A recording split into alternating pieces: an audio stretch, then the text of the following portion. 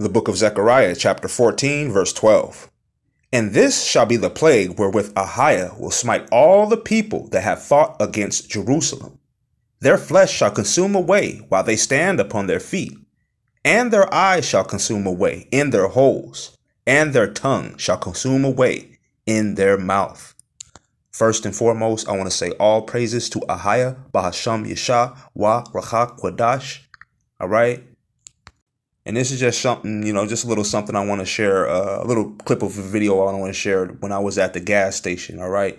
And this is called The Walking Dead of Babylon. People out here bugging out, Israel. Look upon this, man. Just gone. All right, the Most High is out here judging the heathen. All right, it's almost like The Walking Dead, man. You understand? I'm just sitting here trying to pump some gas in my car. You understand? I'm just, I'm just trying to have a nice day and pump some gas. All right. The Most High, is he's really putting it down on Edom right now. All right. The lady's sitting there. She done urinated on herself. She's crying, screaming. And then we got this other zombie right here.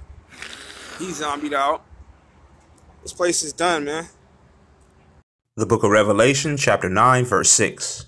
And in those days shall man seek death, and shall not find it, and shall desire to die, and death shall flee from them. All praises to Ahiah, Balashama Mashiach Yeshah.